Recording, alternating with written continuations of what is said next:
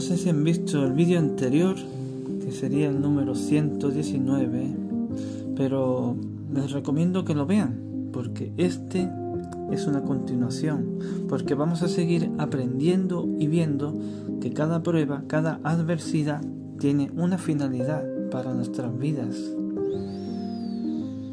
Tomemos nuestras Biblias, la sagrada palabra de Dios y vayamos a, la carta de Pablo a los romanos, capítulo 8, versículo 28 que leeremos en el nombre del Padre, del Hijo y del Espíritu Santo. Y dice lo siguiente, y sabemos que a los que aman a Dios, todas las cosas les ayudan a bien. Esto es, a los que conforme a su propósito son llamados. En otra versión dice que todas las cosas cooperan a bien.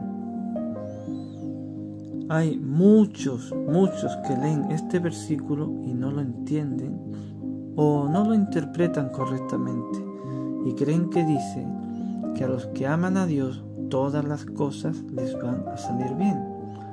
Y eso no es así. Un verdadero creyente también sufre no sufrimos por casualidad.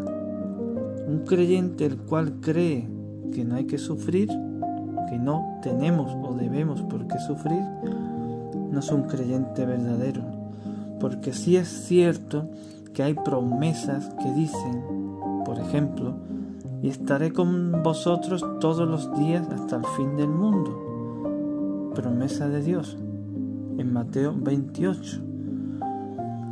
Pero, ¿qué es lo que pasa cuando la palabra de Dios dice, y has sufrido, y has tenido paciencia, y has trabajado arduamente por amor de mi nombre, y no has desmayado? Apocalipsis capítulo 2 versículo 3.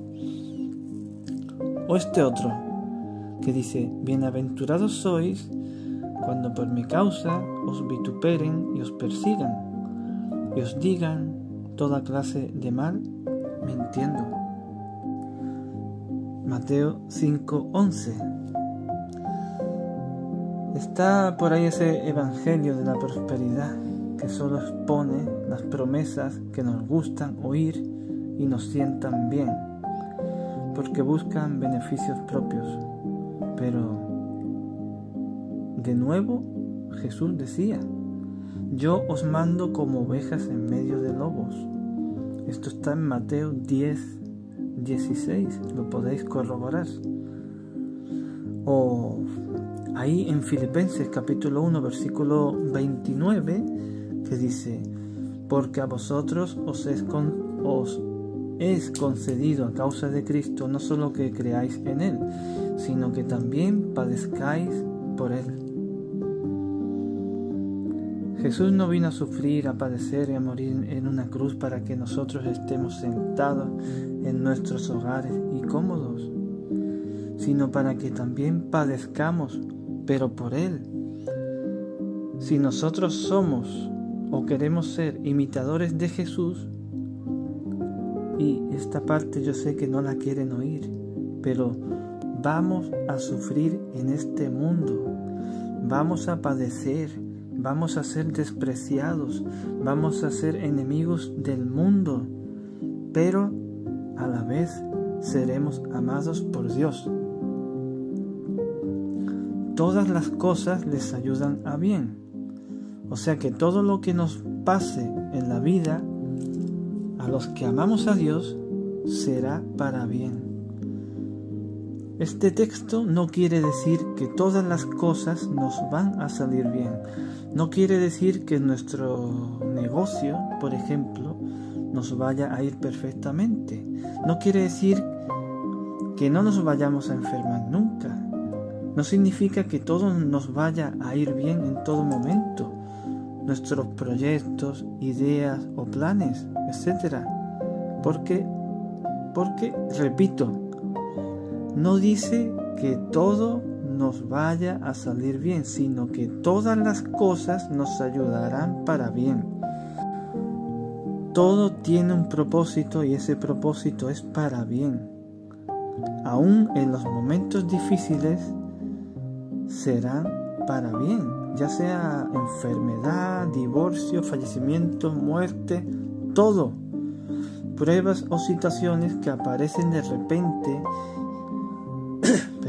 y que Dios ya predestinó en nuestras vidas y que utiliza como instrumento y herramienta para formarnos a la imagen y semejanza de nuestro amado Señor Jesucristo, y para que seamos santos y sin mancha delante de Él, como dice en Efesios capítulo 1 versículo 4. No debemos de extrañarnos de que cuanto más cerca estemos de Jesús, más oremos, más ayunemos, pues, o estudiemos la palabra de Dios, o si estamos al culto, más pruebas vamos a pasar. Porque se va a poner a prueba nuestra fe en Dios. Así que si no queremos sufrir,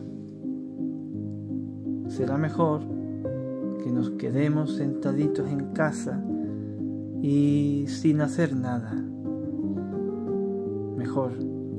O podemos levantarnos, tomar cada uno nuestra cruz y oír a Cristo que nos dice, ven y sígueme, e ir en pos de Él hasta el último día de nuestras vidas, pase lo que pase.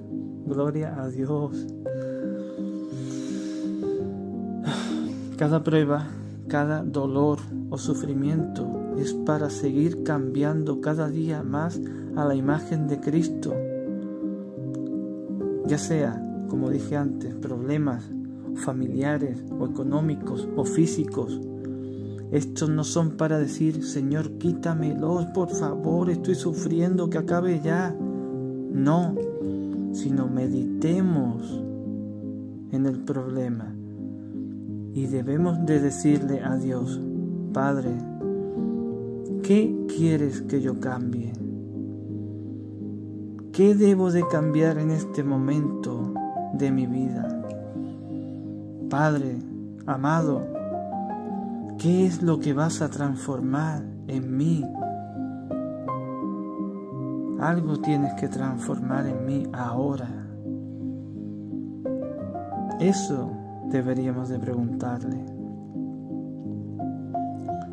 Las pruebas nos darán humildad, nos están ayudando para bien, porque en esos momentos en los que aparentemente tenemos dinero, estabilidad, trabajo, eh, es ahí es ahí, perdón, eh, cuando Dios nos da un buen toque de atención para hacernos más humildes y hacernos recordar también que no somos nadie sin Él y que solo dependemos de Él, solo de Él.